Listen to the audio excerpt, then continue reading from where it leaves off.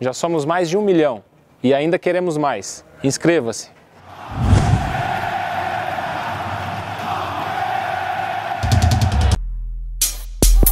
Jogar Libertadores é cruel, cara. Eu lembro assim que foi uma, uma descarga de adrenalina absurda que depois do jogo eu não conseguia mais dormir. Eu acho que muito pouca gente dormiu depois daquele jogo. Uma tensão muito grande. Tanto é que eu já operei o coração, né? Eu acredito, eu acredito muito que deve muito a essas, essas partidas aí. A logística é difícil para você ir jogar, para você voltar. Pesa para os jogadores, mas pesa também para os adversários, né? Saber que tem um time tão qualificado que tá forte para ganhar a Libertadores esse ano de novo. O olho regalado, assim, o cara tá até pálido, né? Na época, concentrou muito, é, sofreu muito para ganhar aquela competição lá, por isso que quando a gente ganhou, foi tipo descarga de adrenalina e um negócio de dever cumprido, assim, que não só a camisa, né?